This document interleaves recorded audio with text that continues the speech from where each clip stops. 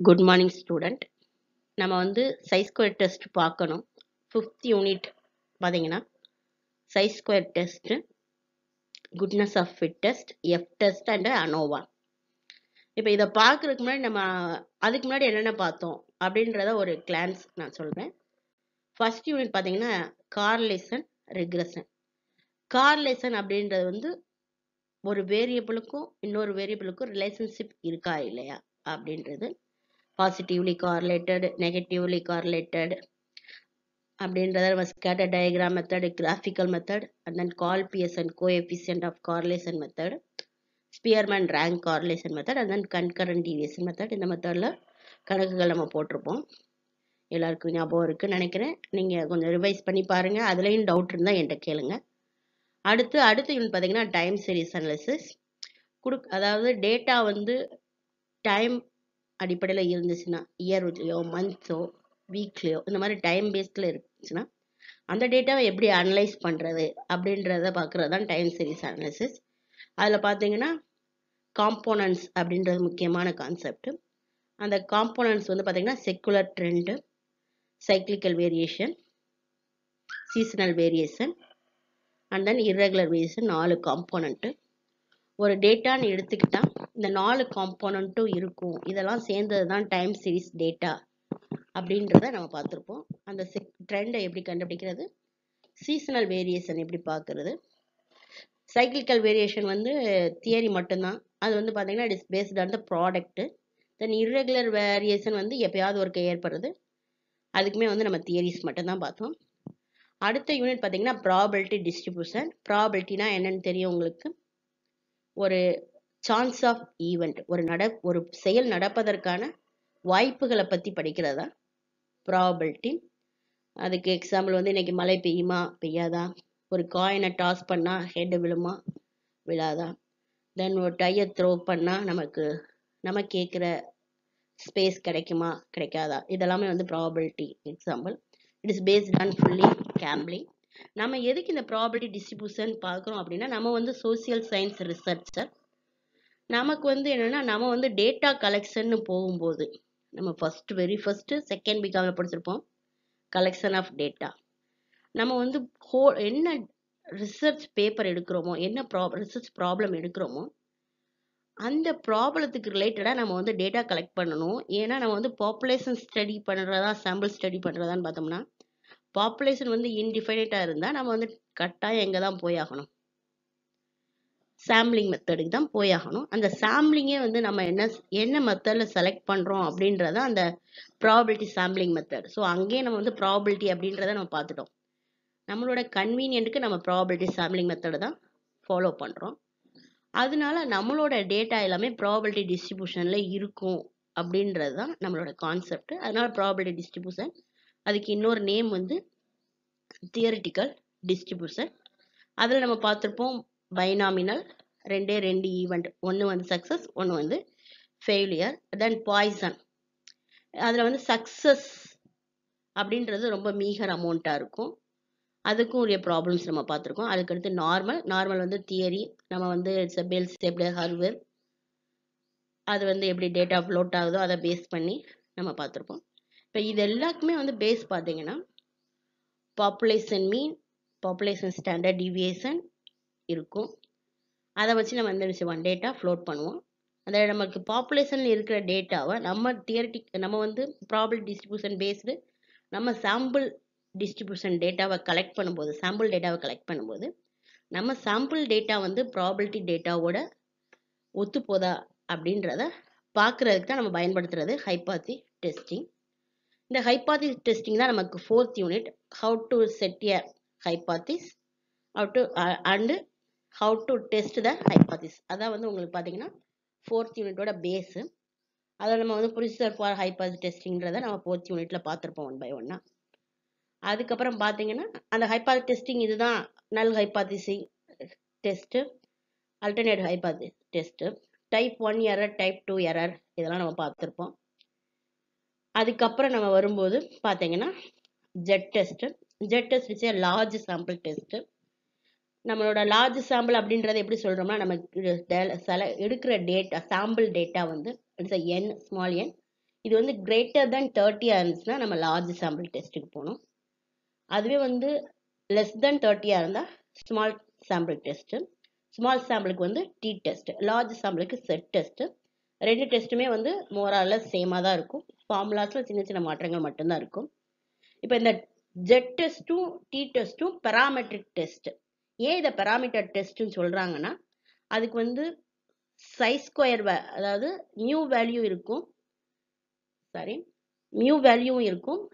Mu value அப்படின்றது வந்து population mean population standard டிவியேஷனும் இருக்கும். நம்ம என்ன செய்வோம்னா நம்ம கலெக்ட் பண்ணுற டேட்டாவோட sample mean and then sample standard standard டிவியேஷனை பாப்புலேஷனோட கம்பேர் பண்ணி நம்ம இன்டர்பிரட்டேஷன் கொடுப்போம். அதுக்கு ஃபார்முலாஸ் நிறையா டிஃப்ரெண்ட் டெஸ்டிங்கில் டிஃப்ரென்ஸ் ஃபார்ம்லாம் நம்ம பார்த்துருக்கோம். அதெல்லாம் நீங்கள் திரும்ப கோத்ரூ பண்ணுங்கள் அதுலேயும் டவுட் இருந்தால் கேளுங்க. இப்போ இதெல்லாம் முடிச்சுட்டு அடுத்து நம்ம ஃபிஃப்த் யூனிட் வரும்போது இது வந்து நான் பெராமீட்டர் டெஸ்ட் சைஸ் ஸ்கொயர் நான் பெராமீட்டர் டெஸ்ட்னா இதுக்கு நமக்கு என்ன இருக்காதுன்னா பாப்புலேஷன் மீனும் இருக்காது.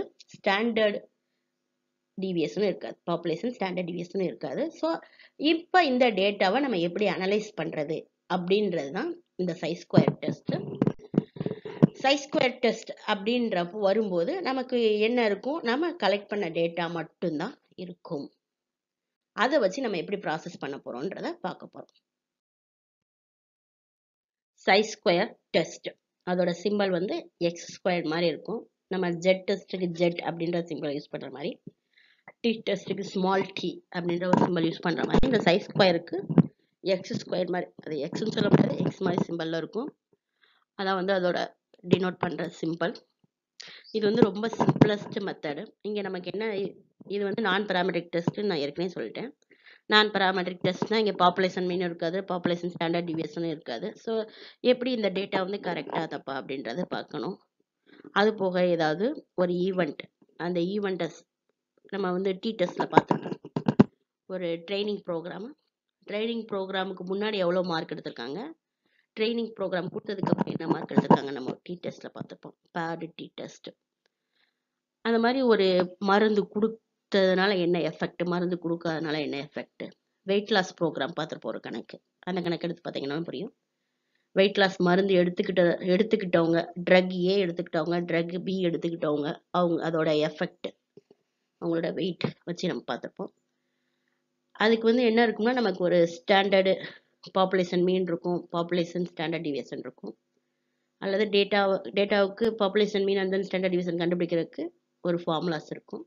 அந்த மாதிரி எந்த ஒரு ஃபார்முலாஸுமே இல்லாமல் டேரெக்டாக நமக்கு கொடுக்க வச்ச டேட்டாவை வச்சே நம்ம வந்து அனலைஸ் பண்ணி சொல்கிறது தான் இந்த சைஸ் ஸ்கொயர் டெஸ்ட் இந்த சைஸ் டெஸ்ட் தான் சோசியல் சயின்ஸ் ரிசர்ச்சுக்கு மேக்ஸிமம் பயன்படுத்துகிறாங்க இந்த டெஸ்ட் வந்து முத முத பயன்படுத்தினவர் யாருன்னு பார்த்தீங்கன்னா கால் பேசன் நைன்டீனில் பயன்படுத்தியிருக்காரு. அவர் என்ன சொல்கிறாருன்னா சைஸ் ஸ்கொயர் டெஸ்ட் அப்படின்றது வந்து நம்மளோட தியரிட்டிக்கல் டிஸ்ட்ரிபியூஷன் நம்ம பார்த்தோம் இல்லையா? பைனாமியல் பாய்சான் நார்மல் டிஸ்ட்ரிபியூஷன் அந்த டிஸ்ட்ரிபியூஷன்லேருந்து நம்ம கண்டுபிடிக்கிற எக்ஸ்பெக்டட் டேட்டா இ கண்டுபிடிப்போம் இல்லையா? அந்த டேட்டாவுக்கும் அப்சர்வ்டு டேட்டா நம்ம டேட்டா கலெக்ட் பண்ணுறோம் பட் காயின்னா காயினை டாஸ் பண்ணி பார்ப்போம்.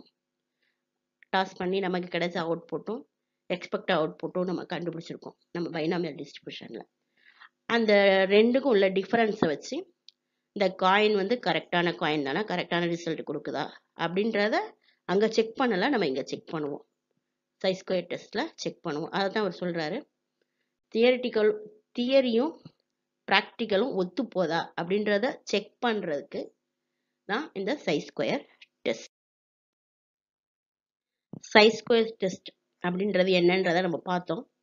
அதுக்கு ஃபார்முலா என்னன்றதை சொல்கிறேன் chi square test it is equal to sigma O minus E the whole squared divide by E இதில் ஓ அப்படின்றது அப்சர்வ்டு ஃப்ரீக்வன்சி இது வந்து கணக்கில் கொடுத்துருப்பாங்க. எக்ஸ்பெக்டட் ஃப்ரீக்வன்சி நம்ம கண்டுபிடிக்கணும். இந்த எக்ஸ்பெக்டட் கண் ஃப்ரீக்வன்சி கண்டுபிடிக்கிறதுக்கு இங்கே ஒரு ஃபார்முலா இருக்குது row total into column total divide by grand total அதுதான் ஃபார்முலா இந்த ஃபார்முலா யூஸ் பண்ணி தான் நம்ம வந்து என்ன செய்ய போறோம்னா சைஸ் ஸ்கொயருக்கு தேவையான ஓ இ e அப்படின்றத கண்டுபிடிச்சி அதுக்கப்புறம் டேபிள் போட்டு ஓ மைனஸ் இ e கண்டுபிடிச்சி ஓ அதை e இ ஸ்கொயர் கண்டுபிடிச்சி இயால் டிவைட் பண்ணி நமக்கு வர்ற வேல்யூவை டோட்டல் பண்ணோம்னா தான் அதான் வந்து சைஸ் ஸ்கொயர் இது வந்து நம்ம வந்து இது இந்த டிஸ்ட்ரிபியூஷன் வந்து பைனாமியலா பாய்சானா அப்படின்றது தெரியாதப்ப நம்ம இந்த ஃபார்முலா யூஸ் பண்ணணும். இதுவே அந்த டிஸ்ட்ரிபியூஷன் வந்து பைனாமியல் பாய்சான்னா நம்ம பைனாமியல் பாய்சான்ல ஏற்கனவே எக்ஸ்பெக்டட் ஃப்ரீக்வன்சி கண்டுபிடிக்கிறதுக்கு ஃபார்முலாஸ் படிச்சிருக்கோம். அந்த ஃபார்முலாவை யூஸ் பண்ணணும். நம்ம இந்த வீடியோவில் இந்த ஃபார்முலா வச்சு row total into column total divide by grand total அதை வச்சு மட்டும் எப்படி வந்து நம்ம வந்து சைஸ் ஸ்கொயர் டெஸ்ட் அப்ளை பண்ணுறது அப்படின்றத நம்ம பார்க்க போகிறோம் ஓகேவா சைஸ் ஸ்கொயர் டெஸ்ட் அப்படின்றது என்ன? அதோட ஃபார்முலா என்னன்னு பார்த்துட்டோம். அதன் அதோட பயன்பாடு அப்படின்றது இந்த ஸ்லைடில் சொல்லியிருக்கேன். மூணு பய மூணு பயன்பாடு. Test of independence and test of goodness of fit test of homogeneity இந்த மூணு பயன்பாடு அதில் ஃபஸ்ட்டு தான் நம்ம இந்த வீடியோவில் பார்க்க போகிறோம் டெஸ்ட் ஆஃப் இண்டிபெண்டன்ஸ் அப்படின்றது வந்து நமக்கு வந்து ஒரு ரெண்டு மூணு ஆட்ரிபியூட் இருக்குது அல்லது ரெண்டே ரெண்டு ஆட்ரிபியூட் இருக்குன்னு வச்சுக்கோங்களேன். ஆட்ரிபியூட்னா வேற ஒன்றும் கிடையாது. நம்ம செய்கிற செயலாக இருக்கலாம். அல்லது ஒரு இப்போ மெடிசினோட பண்பாக இருக்கலாம். அல்லது நம்மளோட பிஹேவியரில் இருக்கலாம். ரெண்டு பேரோட பிஹேவியர் ஒரு இப்போ மருந்தோட பிஹேவியர் அப்படின்ற கூட எடுத்துக்கலாம். அந்த ரெண்டு ஆட்ரிபியூட் இருக்கும் எதுவும் டிஃப்ரென்ஸ் இருக்கா? இல்லை ரிலேஷன்ஷிப் இருக்கா? அப்படின்றத இங்கே வந்து மேஸ்ட்லி வந்து ரிலேஷன்ஷிப் தான். ரிலேஷன்ஷிப் இருக்கா? இல்லையா? அப்படின்றத செக் பண்ணுறது தான் டெஸ்ட் ஆஃப் இண்டிபெண்டன்ஸ் ஒன்றுக்கு ஒன்று தொடர்பு இருக்கா? புரியுது இல்லையா? இப்போ வந்து நம்ம ஏற்கனவே வந்து கார்லேஷனில் படிச்சிருப்போம். The production of paddy depend on rainfall அப்படின்றத படிச்சிருப்போம். ஸோ பேடி ப்ரொடக்ஷன் வச்சு டிபெண்ட் டிபெண்ட்ஸ் ஆன் ரெயின்ஃபால் இப்போ ரெயின்ஃபால் அப்படின்றது வந்து independent sample independent then paddy production வந்து டிபெண்ட் எதை டிபெண்ட் பண்ணி இருக்கு மழைப்பொழிவை டிபெண்ட் பண்ணி இருக்கு. இப்போ அதே தான் நம்ம இங்கே வந்து செக் பண்ண போகிறோம் ஒரு நெல் உற்பத்தி அப்படின்றது ரெயின்ஃபாலை டிபெண்ட் பண்ணி தான் இருக்குது இல்லை அப்படின்றத சொல்ல போகிறோம் ஆணித்தரமாக சொல்ல போகிறோம் அதுதான் வந்து சைஸ் ஸ்கொயர் டெஸ்ட் இந்த இதில் நான் எக்ஸாம்பிள் என்ன கொடுத்துருக்கேன்னா ஒரு மருந்து. ஒரு மருந்தை கொடுத்து அந்த மருந்தை சாப்பிட்றதுனால ஃபீவர் வருதா வரலையா அப்படின்றத பார்க்க போகிறோம் அந்த மருந்து கொடுத்தா ஃபீவர் வருதா வரலையா? ஃபீவர் வரலைன்னா என்ன அர்த்தம்? அந்த மருந்து எஃபெக்ட் ஃபீவர் வந்துச்சுன்னா அந்த மருந்துக்கு என்ன இல்லை? எஃபெக்டே இல்லை. இட்ஸ் நாட் எஃபெக்ட் அப்படின்றத சொல்ல போகிறோம் அடுத்து test of goodness of fit இதுதான் வந்து நம்ம படித்த binomial Poisson normal distribution theory இருக்கு இல்லையா? அந்த தியரியில் கிடைக்கிற எக்ஸ்பெக்டட் டேட்டாவும் நமக்கு கிடைச்ச அப்சர்வ்டு டேட்டாவும் ஃபிட் ஆகுதா? அப்சர்வ்டும் தியரியும் ஒத்து போதா? அப்படின்றது பார்க்குறது தான் test of goodness of fit அடுத்தது வந்து ஹோமோஜுனிட்டி இங்கே வந்து என்னென்னா நம்ம வந்து ஒரு இண்டு இப்போ வந்து ஒரு மெடிசின் எடுக்கிறோம். அந்த மெடிசின் வந்து எஃபெக்டிவாக நான் எஃபெக்டிவான்னு பார்க்குறோம். அதான் இண்டிபெண்டன்ட் அந்த இண்டிபெண்டன்ட் டெஸ்டே எக்ஸ்டெண்டட் அது வந்து ஒரு வில்லேஜ் பீப்புள்கிட்ட கொடுத்தோம். இப்போ வந்து டிஃப்ரெண்ட் குரூப் ஆஃப் பீப்புள் ஒரே வில்லேஜில் டிஃப்ரெண்ட் குரூப் ஆஃப் பீப்புளுக்கு செக் பண்ணுறோம் அதாவது ஒரே இடத்துல வெவ்வேறு சாம்பிளை எடுத்து இதே மெடிசனை கொடுத்து எஃபெக்ட் இருக்கான்னு பார்க்குறோம் எஃபெக்ட் இருக்கான்னு பார்க்குறப்போ டிஃப்ரெண்ட் மீனிங் கிடைக்குது? இல்லை ஒரே மீனிங் தானா? மருந்து வந்து வேறு வேறு குரூப்புக்கும் ஒரே மாதிரி எஃபெக்ட் தான் கொடுக்குதா அப்படின்றத பார்க்குறது தான் வந்து டெஸ்ட் ஆஃப் ஹோமோஜெனிசிட்டி இப்போ டெஸ்ட் ஆஃப் இண்டிபெண்டன்ஸ் அதுதான் நம்ம இந்த வீடியோவில் பார்க்க போகிறத சொல்லியிருக்கேன். நமக்கு ஒரு ப்ராப்ளம் கையில் கொடுத்துட்டாங்க. கொடுத்தோடனே நம்ம என்ன செய்யணும்? ஹைபாதிசிஸ் ப்ரைம் பண்ணணும். Let us take the hypothesis that அப்படின்னு நம்ம ஆரம்பிப்போம். அது வந்து நல் ஹைபாத்திஸா அல்டர்னேட் ஹைபாத்திஸா நம்ம தான் டிசைட் பண்ணணும். நல் ஹைபாத்திஸ்னால் ஹெச் ஜீரோ அல்டர்னேட் ஹைபாதிஸ்னா ஹச் ஒன் நம்ம அந்த டே கொடுக்கப்பட்ட டேட்டாவுக்கு ஏற்றாப்புல நம்ம என்ன செய்ய போகிறோம் ஹைபாதிஸை ப்ரைம் பண்ணுறோம் ப்ரைம் பண்ணிட்டு நம்ம என்ன செய்வோம்? ஸ்கை ஸ்கொயர் டெஸ்ட்டை அப்ளை பண்ணுவோம். சை ஸ்கொயர் டெஸ்ட்டுக்கு நமக்கு ஃபார்முலா இருக்குது O minus E the whole square divide by E so O கண்டுபிடிக்கணும் e ஈயை கண்டுபிடிக்கணும். ரெண்டுக்கு டிஃபரன்ஸ் பண்ணி கொயர் பண்ணணும். அதுக்கப்புறம் அதை e இயால் என்ன செய்யணும்? டிவைட் பண்ணணும். அதுக்கப்புறம் நமக்கு என்ன கிடைச்சிடும் சைஸ் ஸ்கொயர் வேல்யூ கிடைச்சிரும். ஸோ கால்குலேட்டர் சைஸ் ஸ்கொயர் வேல்யூவை நம்ம ஒரு ஒரு பக்கம் வச்சுக்கணும். அதுக்கப்புறம் என்ன பண்ணுவோம்? ஹைபாஸ் டெஸ்டிங்னாலே கால்குலேட்டர் வேல்யூவை டேபிள் வேல்யூவோட செக் பண்ணுவோம். கம்பேர் பண்ணுவோம். ஸோ டேபிள் வேல்யூ பார்க்கணும்னா நமக்கு என்ன வேணும்? டிகிரிஸ் ஆஃப் ஃப்ரீடம் வேணும். இங்கே வந்து டிகிரிஸ் ஆஃப் ஃப்ரீடம் கண்டுபிடிக்கிறதுக்கு ஃபார்முலா வந்து பார்த்தீங்கன்னா R minus one into C minus one R அப்படின்றதுனா number of row C அப்படின்றது வந்து என்னன்னு பார்த்தீங்கன்னா நம்பர் ஆஃப் காலம் நம்ம அந்த டேபிள் பார்க்கும்போது உங்களுக்கு புரிஞ்சிடும் ஸோ அதை வச்சு டிகிரிஸ் ஆஃப் ஃப்ரீடம் கண்டுபிடிச்சு அந்த டிகிரிஸ் ஆஃப் ஃப்ரீடம் கொண்டு போய் சைஸ் ஸ்கொயர் டேபிளில் அந்த டிகிரிஸ் ஆஃப் ஃப்ரீடத்துக்கு நேர இருக்கிற நம்மளோட இதில் முக்கியமான பாயிண்ட்டு சிக்னிஃபிகன்ஸ் நம்ம வந்து என்ன லெவல் சிக்னிஃபிகன்ஸாக செக் பண்ண போகிறோம் ஒன் பர்சன்ட் லெவலா ஃபைவ் பர்சன்ட் லெவலா so degrees of freedom with level of significance அதை வச்சு நம்ம என்ன செய்யணும்? செக் பண்ணணும். இப்போ ஒன் பர்சன்டேஜ்னா ஒன் பர்சன்டேஜ் நேராக பார்க்கணும். ஃபைவ் பர்சன்டேஜ்னா ஃபைவ் பர்சன்ட் நேராக நம்ம பார்க்கணும். செக் பண்ணி நம்ம வந்து ஏற்கனவே பார்த்துருக்கோம் calculated value less than the table வேல்யூனா the null hypothesis will accept accepted இதுவே calculated value is more than the table வேல்யூனா null hypothesis is rejected அப்படியே வைஸ் வர்ஸ் அல்டர்னேட் ஹைபாத்திஸ் போட்டோம்னா லெஸ் தென்னாக இருந்தால் ரிஜெக்ட் பண்ணணும் மோர் தென்னாக இருந்தால் அக்செப்ட் பண்ணணும். டெஸ்ட் ஆஃப் இண்டிபெண்டன்ஸ்க்கு ஒரு example problem இங்கே கொடுத்துருக்கேன். In an anti-malarial campaign in a certain area. Quanian was admiral to 812 person out of total population 3248. The number of fever case in zone below.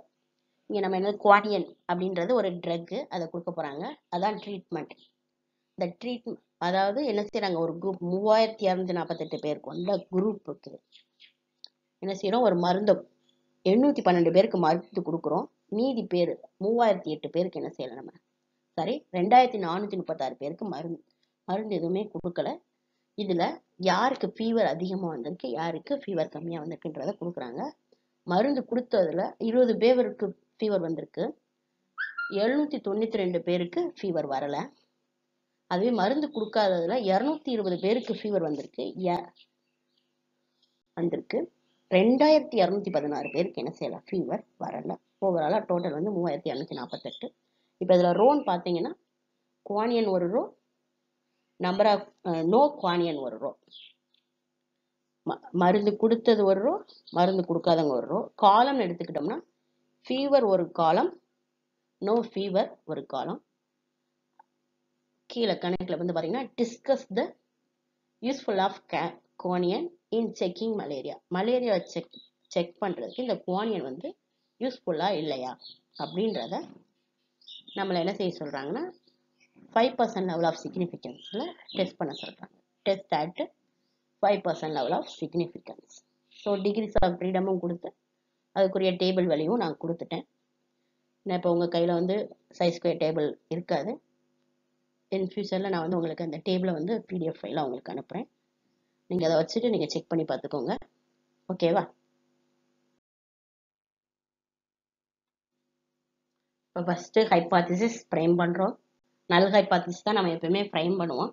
So அதனால் நல் ஹைப்பாத்திஸை முதல் கொடுத்துருக்கேன். The quinine is not effective in checking malaria நான் அல்டர்னேட்னா என்ன பண்ணணும்? Effect இருக்குது அப்படின்னு சொல்லணும். The quinine is effective in checking malaria apply t test so t டெஸ்ட்டோட formula chi square அப்படின்பாங்க. Chi square is equal to sigma O minus E square divide by E so நமக்கு O வந்து கொடுக்கப்பட்ட data observed frequency twenty two hundred and twenty seven hundred ninety two two thousand two hundred and sixteen இதான் நமக்கு கொடுக்கப்பட்ட observed frequency இந்த total row total column total வந்து இங்கேயும் அங்கேயும் சேமாக இருக்கும்னு காமிக்கிறக்கான நான் போட்டிருக்கேன். அடுத்து வந்து expected frequency sixty one eight one hundred and eighty seven hundred and fifty two two thousand two hundred and fifty six இதை எப்படி கண்டுபிடிச்சோன்றதை நான் அடுத்த ஸ்லைடில் சொல்கிறேன் எக்ஸ்பெக்டட் ஃப்ரீக்வன்சி கண்டுபிடிக்கிறதுக்கான ஃபார்முலா ஏற்கனவே சொன்னேன். Row total into column total divide by grand total அதை differentiate பண்ணி காமிக்கிறக்காண்டி ரோட் டோட்டலை க்ரீன் கலர்லையும் காலம் டோட்டலை எல்லோ கலர்லையும் கிராண்ட் டோட்டலை வைலட் கலர்லையும் கொடுத்துருக்கேன். பார்த்தீங்கன்னா தெரியும். ஸோ நான் எனக்கு வந்து இ ஒன் சிக்ஸ்டீன் கண்டுபிடிச்சிருக்கேன் இல்லையா? அதான் வந்து e இ ஒன் ரெண்டாவது e இ டூ அப்படின்றது ஹண்ட்ரட் அண்ட் எயிட்டின் கண்டுபிடிச்சிருக்கேன் அது வந்து e இ டூ இது வந்து seven seven hundred and fifty டூன்னு போட்டிருக்கேன் இல்லையா அது வந்து E three two thousand two hundred and fifty சிக்ஸ்னு போட்டிருக்கேன் அது வந்து e இ ஃபோர் இதை எப்படி கண்டுபிடிச்சேன்? இப்போ இது வந்து பார்த்தீங்கன்னா ஃபஸ்ட்டு ரோ ஃபர்ஸ்ட் காலம் நம்ம வந்து செகண்ட் பிகாமில் வந்து மேட்ரிக்ஸ் படிச்சிருக்கோம். ஸோ அந்த டேட்டா சிக்ஸ்டி அப்படின்றது பார்த்தீங்கன்னா ஃபஸ்ட் ரோவில் ஃபஸ்ட்டு காலம் இருக்குது ஸோ அதனால் நான் என்ன செய்கிறேன் ஃபஸ்ட் ரோவோட total and then first காலமோட total divided by grand total eight hundred and twelve is the row total. 240 is a column total divided by grand total 3248 so இதால் டிவை ரெண்டையும் multiply பண்ணி கிராண்ட் டோட்டலால் divide பண்ணால் அதாவது row டோட்டலையும் column டோட்டலையும் multiply பண்ணி grand டோட்டலால் டிவைட் பண்ணால் எனக்கு இ ஒன்னோட வேல்யூ என்ன கிடைக்கிது? சிக்ஸ்டி அதே மாதிரி ரெண்டாவது பண்ணுறேன் ரெண்டாவது வந்து second row first column so second ரோவோட total வந்து பார்த்தீங்கன்னா two thousand four hundred and thirty six then column total வந்து two hundred and forty forty divide by grand total three thousand two hundred and forty eight apply பண்ணும்போது எனக்கு hundred and eighty கிடைக்குது. அடுத்து இ three E three வந்து பார்த்தீங்கன்னா first row second column so first ரோவோட total வந்து again eight hundred and twelve column total வந்து three thousand eight divide by three thousand two hundred and forty eight கிடைச்ச answer வந்து seven thousand five hundred and two sorry seven hundred and fifty two அடுத்து E four இதை வந்து பார்த்தீங்கன்னா second row second column second ரோவோட total பார்த்தீங்கன்னா two thousand four hundred and thirty six காலமோட total பார்த்தீங்கன்னா three thousand eight grand total again நமக்கு தெரியும் three thousand two hundred forty eight apply பண்ணும்போது நமக்கு கிடைக்கிற ஆன்சர் வந்து two thousand two hundred and fifty six so நம்ம இ கண்டுபிடிச்சாச்சு.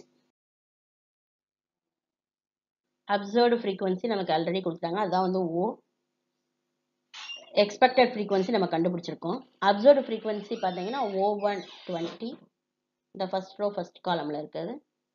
அடுத்து two hundred and twenty seven hundred and ninety two two thousand two hundred and sixty அடுத்து இ பார்த்தீங்கன்னா நம்ம கண்டுபிடிச்சது sixty hundred and eighty seven hundred and fifty two two thousand two hundred and fifty six இப்போ இது ரெண்டுக்கும் difference பார்த்து எழுத போகிறோம் first twenty minus sixty minus forty two hundred and twenty minus hundred and eighty plus forty seven thousand nine hundred and twenty nine sorry seven hundred and ninety two minus seven hundred and fifty two equal two plus 40 2216 minus 2256 equal to minus 40 ரெண்டையும் square பண்ணும்போது minus into minus plus ஆயிரும். So thousand six hundred thousand six hundred thousand six hundred thousand six hundred so அதை இஆல மறுபடியும் இஆல divide பண்ணுறோம் இ வந்து நமக்கு தெரியும் sixty hundred and eighty seven thousand fifty seven hundred and fifty two two thousand two hundred and fifty six thousand six hundred minus sorry thousand six hundred divided by sixty twenty six point six seven thousand six hundred divided by hundred and eighty 8.89 1600 divided by 752 2.13 1600 divided by 2256 is equal to 0.71 இது அப்புறம் சமப் பண்ணணும். ஏன்னா sigma அப்படின்ற simple இருக்கு. Sum up பண்ணோம்னா thirty eight point three nine இதான் வந்து நம்மளோட கால்குலேட்டட் வேல்யூ கால்குலேட்டட் வேல்யூ நமக்கு கிடைச்சிருச்சு. கால்குலேட்டர் வேல்யூ நம்ம கண்டுபிடிச்சிட்டோம். இப்போ நமக்கு அடுத்து வந்து டேபிள் வேல்யூ கண்டுபிடிக்கணும். டேபிள் வேல்யூ கண்டுபிடிக்கிறதுக்கு டிகிரிஸ் ஆஃப் ஃப்ரீடம் வேணும். லெவல் ஆஃப் சிக்னிஃபிகன்ஸ் வேணும். டிகிரிஸ் ஆஃப் ஃப்ரீடம் கண்டுபிடிக்கிறதுக்கு formula R minus one into C minus one so R அப்படின்றது இங்கே வந்து row number number of row நமக்கு ரெண்டு ரோ இருக்குது சி அப்படின்றது காலம் நம்பர் ஆஃப் காலம் ரெண்டு காலம் இருக்குது so two minus one two minus one two minus in one into two minus one it is equal to one into one the degrees of freedom it is equal to one then இந்த degrees of freedom வந்து at five percent level of சிக்னிஃபிகண்டில் check பண்ணணும் அப்படின்னு சொல்லியிருக்காங்க. So நம்ம வந்து table எடுத்துக்கணும். டேபிளில் வந்து ஜீரோ பாயிண்ட் ஜீரோ ஃபைவ்க்கு நேராக ஒன்றுக்கு நேராக இருக்கிற ஆன்சரை பார்த்தோம்னா அதுதான் வந்து நம்மளுக்கு வந்து இந்த சைஸ் ஸ்கொயருக்குரிய டேபிள் வேல்யூ அதை நான் எடுத்து இங்கே கொடுத்துட்டேன் three point eight four so நம்மளோட கால்குலேட்டட் வேல்யூ வந்து thirty eight point eight nine table value வந்து த்ரீ பாயிண்ட் எயிட் ஃபோர் உங்களுக்கே தெரியும். எது பெருசாக இருக்குது கால்குலேட்டட் வேல்யூ தான் பெருசாக இருக்குது calculated value is more then the table value therefore the null hypothesis is rejected நல் ஹைபாத்திஸ் ரிஜெக்ட் ஆயிடுச்சுன்னா ஆட்டோமேட்டிக்காக என்ன ஆயிடுச்சு? Alternate hypothesis accepted so inference conclusion சொல்லலாம் இன்ஃபரன்ஸ் சொல்லலாம். The quinine is effect effective in checking malaria மலேரியாவை check பண்ணுறதுக்கு இந்த குவானியன் வந்து ரொம்ப யூஸ்ஃபுல்லாக இருக்குது அப்படின்றது நம்மளோட டெஸ்ட் ரிசல்ட் இது புரியும் நினைக்கிறேன். புரியலன்னா டவுட் இருந்தால் கேளுங்க கால் பண்ணுங்க. Stay home